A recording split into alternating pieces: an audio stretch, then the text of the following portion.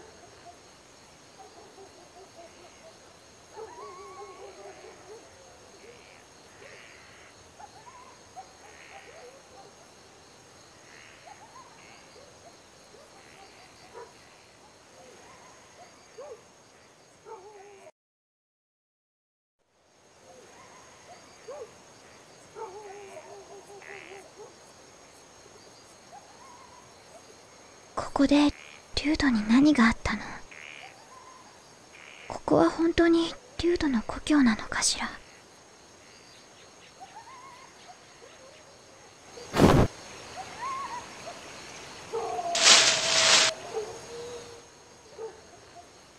お嬢さんリュードに何があったか知りたいだろ？誰？誰でもいい。外を見るんじゃない。見たら話は終わりだ。それからこの話は誰にも言わないこと。いいかな？わかったわ。一体何があったの？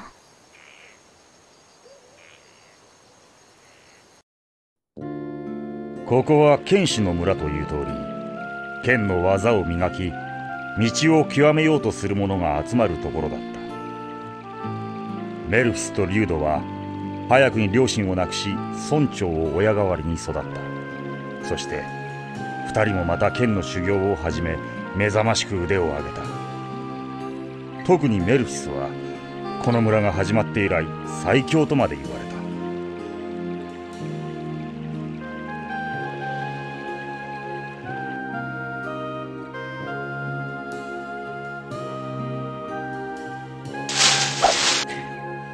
行くぞ。ユドえ、まだまだ。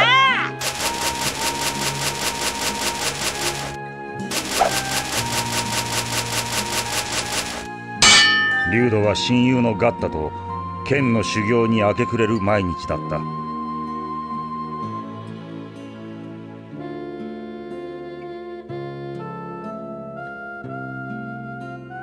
最強の剣士メルフィスに村の誰もが憧れていた。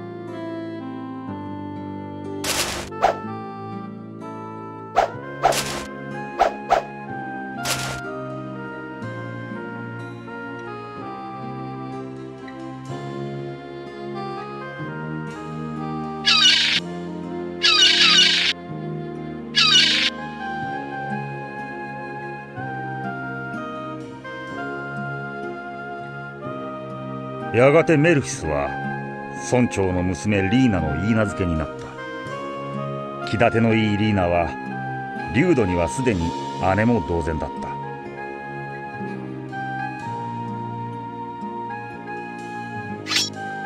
この剣のように曇りなくこの刃のように清く正しく。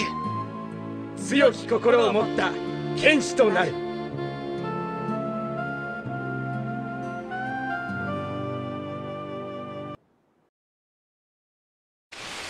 ある日激しい嵐が村を襲った。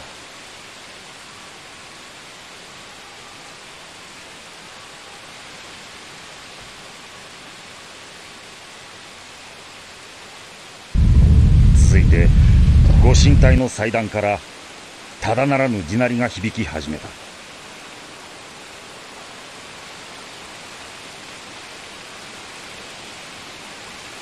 ご神体とは世界最高の剣士にしか触れることのできない恐ろしい力を秘めた剣で村の守り神と信じられていた。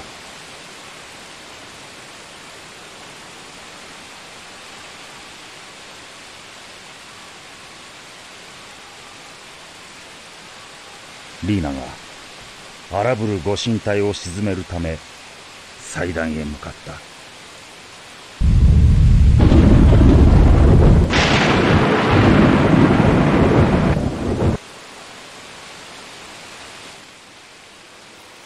村人はリーナが無事に帰るのを待ち続けた。だがいつまでたっても不気味な地鳴りが止むことはなかった。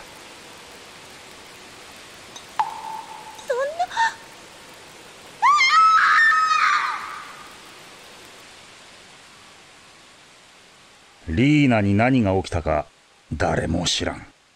しかしその時恐るべき悲劇が始まったのだ。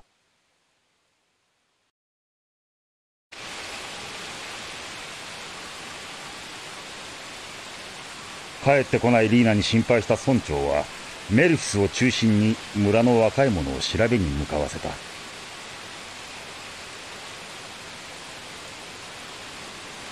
しかし嵐も地鳴りも広がるばかり。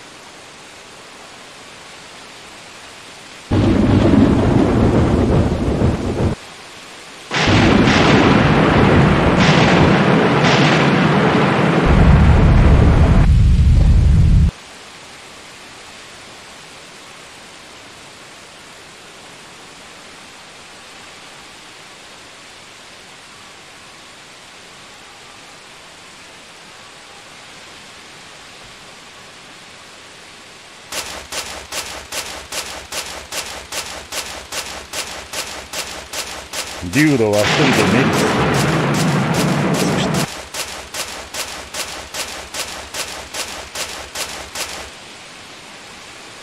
見てしまった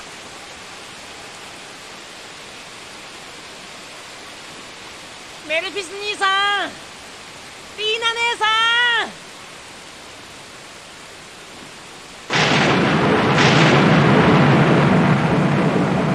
メルフィス兄さん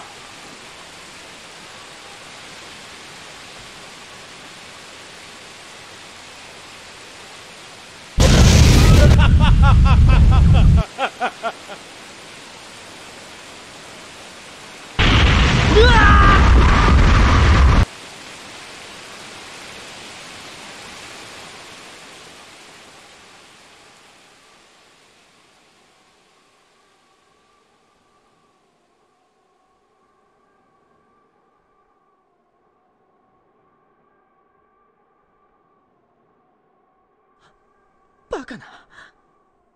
そんな。なぜだ。どうしてなんだ兄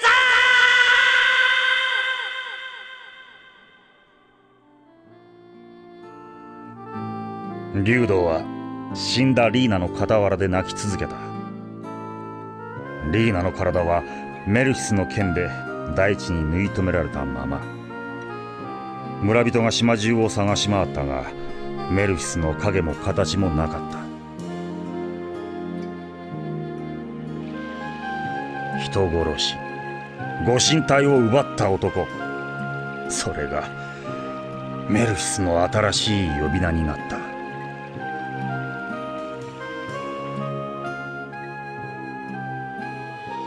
おかげでリュードはこの村にいられなくなった。そしてジオハウンドとして生きていくことになったのさ。3年前のことだ。リュウドはそうやって自分の悲しみを抱え込んだまま今まで生きてきたっていうの。一番信じていた兄に裏切られあいつは人を信じるのが怖くなっちまったんだな。辛かったでしょうね。故郷を追い出されて一人っきりで生きるなんてそんなのかわいそうよ。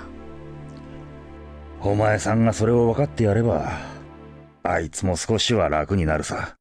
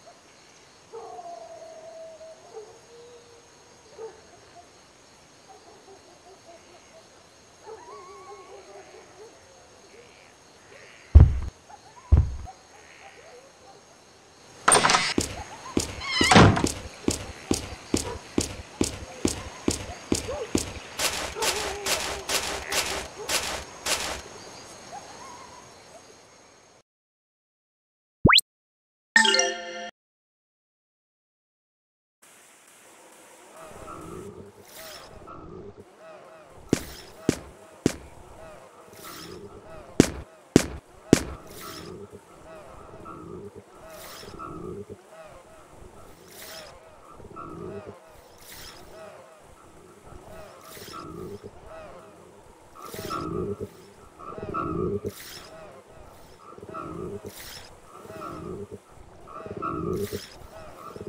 you.